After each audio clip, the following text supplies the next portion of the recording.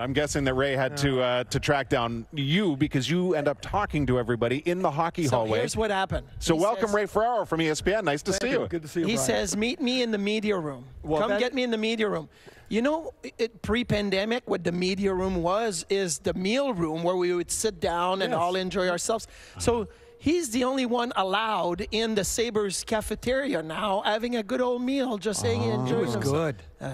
You know what? I got to say, those players today have no idea, honestly, how lucky they are. I know. Like to, m- maybe they understand a little bit, but to go in there post practice and there's your lunch and, and it's really terrific. And you're like, "Oh, this, we did not have this. The whale. If we had bagels, we were lucky. Oh, oh yeah. Okay, I'm not. With this is cream not- cheese. This Cream is cheese not even. extra. This is not even an exaggeration. When we were in Atlanta, the players had to put a fund together. Yeah. And somebody had to stop to buy bagels uh, in the morning. Oh my God. They didn't even provide bagels for us. Well, That's unreal. So that's Atlanta. I get that. Uh, when I left Buffalo into Philly, we had bagels in the morning, which was a great Ken Hitchcock story. How he was trying to lose weight, and he walked in and says, "Today I'm only going to have a half a bagel," and he walked out. Well, 45 minutes later, he comes back thinking that the players have changed around. says, "Today I'm only going to have a half a bagel," and he walks out and did that four times. Just take the two bagels and, eat and it. go, be done with it. So. That's amazing. Well, it's funny you uh, you ended up there literally, and we're, you know, seeing the the great benefits of you know the staff that works behind the scenes and you know quite literally caters to the players with these meals. Because I ran into you would remember Carol Yep. who works back there, and I ran it pandemic right, like you don't see people forever and ever. Right. Carol is 83, and she has been doing this. For almost, a, and she is the most amazing woman. And it was just so great to run into her the other day. I'm like, holy cow! like, this, I don't think I think we sometimes, unfortunately, and in this case because of a global situation, we can lose perspective and, and lose the the touch of reality that we typically see here on a daily basis. Well, I was in Toronto on uh, Tuesday. I walk into the to the media room, and there was five writers there. Mm-hmm. I haven't seen them in I don't know 18 months. Wow. And I was like, li- aha, like you Yeah. know, it was so awesome to see them.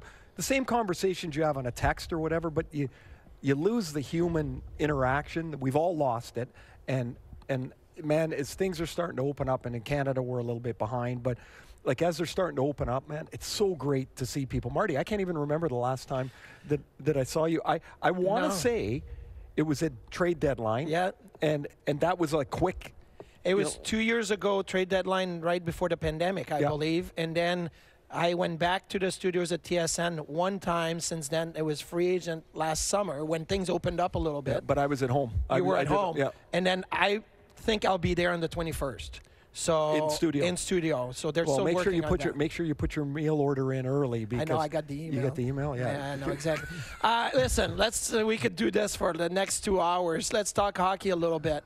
Have you ever been in a situation where a player like Jack Eichel and what happened returns home, or either you were with a team that had that player going back home, or even yourself? Like you got you moved a few times, but Well, when I came back, now I don't know that anyone noticed really. You know, I'm not like this. I mean, like this is, you know, I mean, this is is something. Um, I I was never um, never had a player of the magnitude, or, or wasn't involved in a game of the magnitude of this. Uh, the, there's a couple of difficult things I think to it. Is one is if you're one of the Sabres, you got to get you got to get your head around that you're not playing Jack Eichel, you're playing Vegas. Mm-hmm. The other is you're going to watch him because he looks different in that uniform. It's the first time you've seen him in the uniform, and you're kind of watching him in the game. you would anyway. Even if you played Jack Eichel, you don't know him. Yeah. You'd be like, oh, here's now you're you like, watch, oh, you how play does Jack Connor look? McDavid. Yeah. You watch him. Yeah, Yeah. how's how's Jack look? How's he looking? How's he, you know? And so it's gonna it's really odd from that perspective. Yeah. For him, I mean, I don't know Jack Eichel, but I know if if I were him, that what I want to do more than anything tonight is score. Oh yeah. Like I, I am. First time I went back to Hartford. First time I went back to the island. Uh, you know, I wanted to score, and when I did, uh, the with the Rangers, I went back. I scored the first game with the Islanders. It felt like I'd scored five goals. Yeah. Like it just felt so good, and so you know, I know there's lots of talk. How's everybody going to react in here tonight? And you're the fans are the fans, right? I mm-hmm. mean, there's an emotional connection, and so what I assume is going to happen is they're going to boo him when he touches the puck, and they're going to cheer him in the video, and then they're going to boo him when he touches the Yeah. puck. And I think that's all fine. Mm-hmm. And because I think the appreciation for what he tried to do, what he did do here, he's a fantastic player. The end Yeah. was was the end. I mean, th- there's mm. a reason it's called the end because it is. And rarely does the end go where everybody's like, "Oh, that was all great." Yeah. In there's not a lot of there, there's some happy ending in movies and you know you saw some around the national hockey league where Yeah. guys win cup put it over their head retire right Yeah. uh, peyton manning wins super bowl retires like it happens um, but for a lot of other players it's not that way the end is not that way Yeah. Yeah, I'm intrigued, Ray. I think um, I think there's going to be a distinct difference among the fans tonight, and I think it's going to be very vocal both ways. I think there are going to be a lot of people in favor of Jack and cheering everything that he does, and then I think there's going to be the expected, and it's not just a Jack thing. It's typical of almost any star player, but especially in a circumstance like this where he was dealt. Um, yeah, there's going to be booing. I mean, I don't know. It's good for the atmosphere for me. Like I, I, I- don't mind it. I mean, obviously from the Sabre fan standpoint, they just they they want to see their guys like Tuch and, and Krebs have, have good nights and, and continue along here and making a difference. You know, we just talked to Kevin Adams, and and uh, he said something that I, I hadn't really thought about, but I know he said it before, but I just thought it was like it. It's just perfect, kind of sums up where everything is at this moment, and that is you can't you can't forget the last ten years. You have to try to learn why those ten years happened, but you can't live in it either. Mm-hmm. And Jack Eichel's part of that last 10 years. And so you can remember drafting Jack and being thrilled and making him captain and seeing some of the terrific years that he really terrific years he had. I mean, he's a game changer mm-hmm. player. But you have to you have to say, okay, that was then and now here we are. We're here we have Peyton Krebs who's going to be a really good player. Mm-hmm. Alex Tuch who has kind of changed I think a lot of the air mm-hmm. around oh, here with Big time. with his ability, but also with the way that he is. Mm-hmm. And then you've got a first round pick coming. Like the return is significant.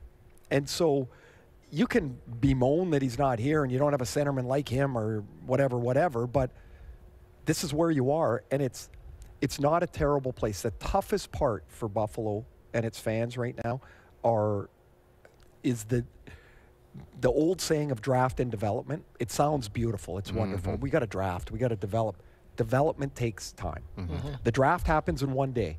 Then you get a bunch of kids, Yep. and they can't play because they're too young or they're in college or whatever it is, and it takes time. And then you get to 21 years old, and like you know, people were you know kicking Rasmus Dahlin in the shins, and you're he's in his fourth year, and you're like, oh, he's 22. Like Adam Fox started at 23 Yeah.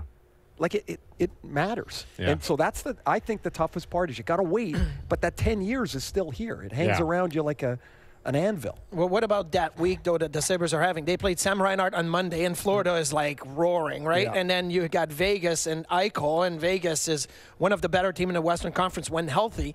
And then they go play Toronto at the Heritage Classic on Sunday, and the Leafs are way ahead of where the Sabres are, and but they got their first round pick in Matthews, and they got Marner, and they got those guys that were where Buffalo is still waiting to get going. Like it has to be hard for Kevin Adams and uh, you know the Pegulas and everybody involved and in the players, knowing that all of this is inside of seven days. It's a lot of pressure. it's a, it's it's a lot because the spotlight hits on top of you and there's nowhere to run and hide i mean like you you can't sort of participate in these things like sunday the game to watch Yeah. is toronto and buffalo and hamilton doesn't matter where you live in the like did you watch the outdoor game in nashville Yeah.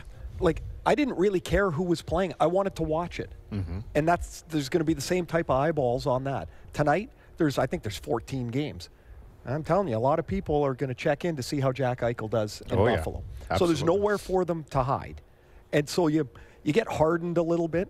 I think the more you get to do it, but it's not an easy week. I mean, it's it's you look at the teams that they're playing. It's not like they're little minnows around the league, right?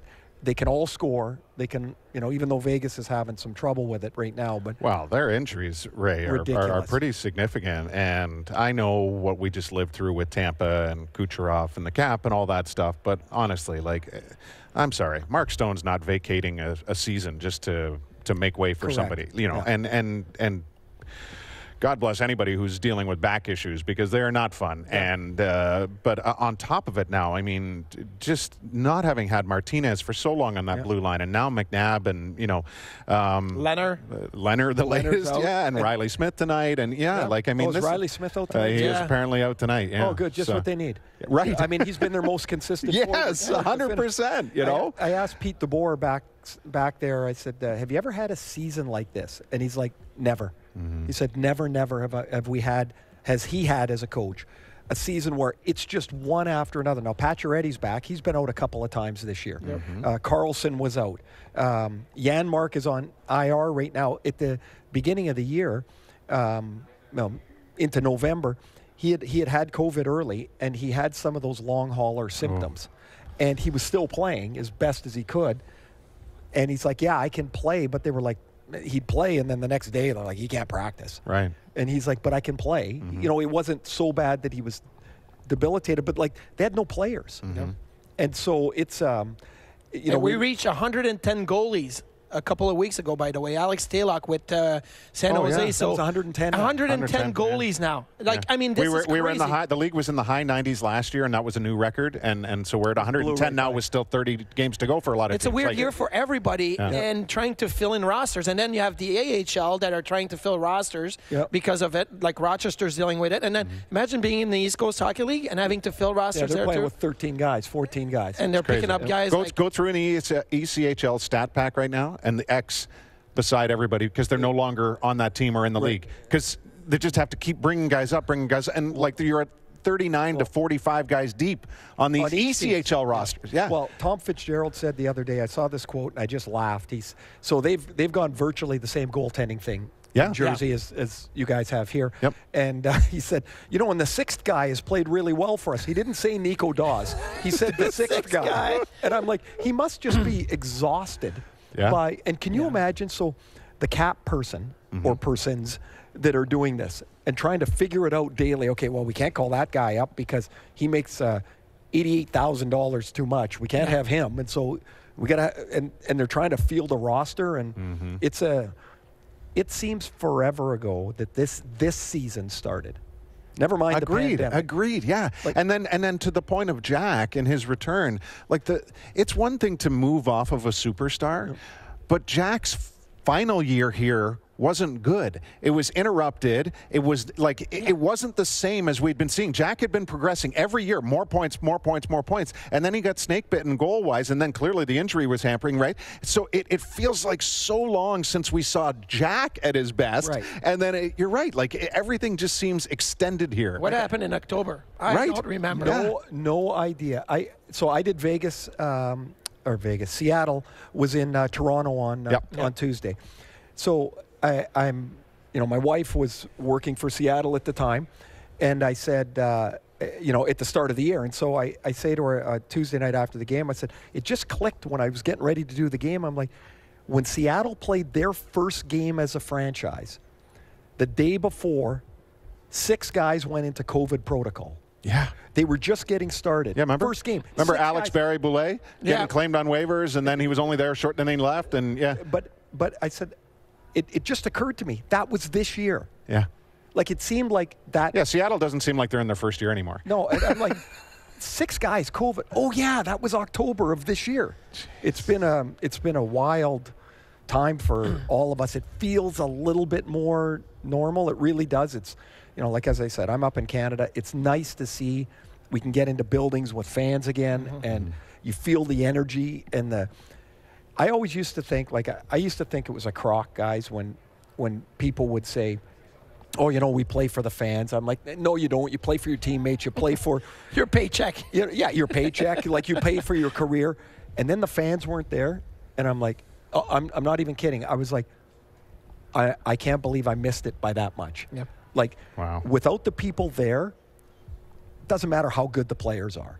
Like the energy, the enthusiasm, the the dislike, the like, the it, it was all gone. the instant noise that came from a post or a hit, Yeah. where I know we had the, you know, uh, the, the fake crowd noise and all of that, But and never, they did never it, again, please. Never again. And listen, the in arena people did a good job trying to put it, but there was always a delay, and sometimes it didn't have the impact that it would with fans. Even when there was 1,500 fans, 2,000 fans uh, in Montreal in the playoffs, right in the finals, they got you know what 2,000 fans, and it was like, man, this is so important to have them there. by the way, 2,000 fans. I know you're French, Marty. Do you guys have math up there? There was about 6,000 fans in there. 2,000. I mean, like, come well, on. the doors stayed open. Oh, just by accident? Just by accident. The people came in. That's the way we work back home. Our doors are always open for people and friends and family to come Oh. in. My goodness. 2,000 people. I was like, wow, that's a lot. so when you, yeah, this is a hard one because, uh, you know, for all the right reasons, you're watching everything else going on in the league, and it's not like you can sit there and watch Buffalo every night. But do you do you look at like one or two or three pieces for this team and think, hundred percent, these are the guys that they're going to to get what they need out of that is going to ultimately right this this ship. Well, I will say we watch a lot more Buffalo Sabre games since Donnie became the head coach. Yeah, it's Yes. a little easier, right? Yeah, so we're we've got uh, right now in our house we're big Sabres and Vancouver Canucks fans, Mm-hmm. and I can say two years ago I was not a fan much of either, and so now that my brother-in-law coaches here and my wife is an assistant GM in Vancouver, we're really much more in tune with those teams. Yeah. Um, I look at the Sabres, and of course the goaltending position stands out b- before anything. Mm-hmm. Now, the kid in Michigan is big and really good. Yeah.